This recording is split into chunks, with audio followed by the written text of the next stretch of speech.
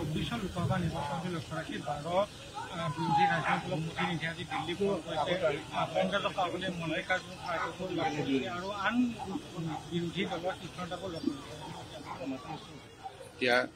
তেখেতসকলে কিয় লগ কৰিছে? ইলেকশ্যন হ'ব অসমত।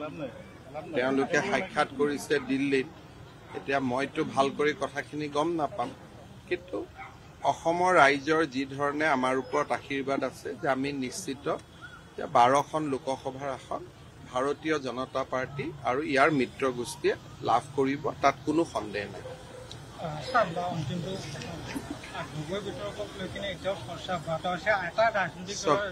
মই।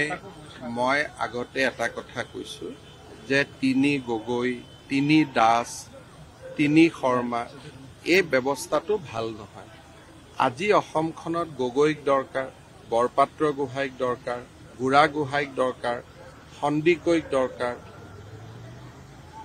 আমাৰ দাস কলিতাক দৰকাৰ বড়ো কছাৰী মিচিঙক দৰকাৰ।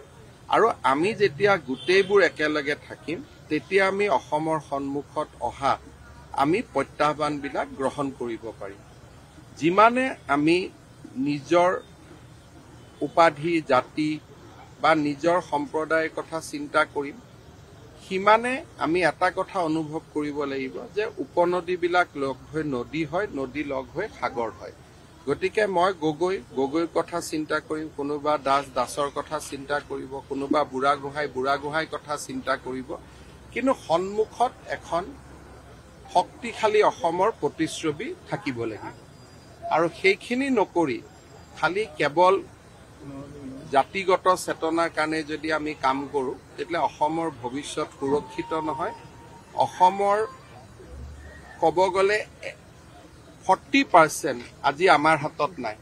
ষাঠি পাৰ্চেণ্ট আমাৰ হাতত আছে আৰু প্ৰত্যেক বছৰে এক এক পাৰ্চেণ্ট কৰি কমি কমি আমি গৈ থাকোঁ। গতিকে আমি কি কৰিব লাগিব? ৰাজনৈতিক নেতাসকলে জাতিটোৰ কাৰণে চিন্তা কৰি কৰিলেই ভাল। বাকী আমাৰ কাৰণে একো বিতৰ্ক নহয় যোনে যি কৰিছে এইটো তেওঁলোকৰ সমস্যা। আমি সকলোকে লৈ চলিব খোজোঁ।